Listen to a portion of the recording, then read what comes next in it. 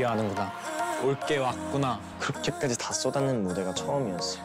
더 많이 연구를 하고 더 많이 연습을 해서 서로에게 응원을 해주고 사랑을 건네주고 이제는 다시 계절을 찾았죠.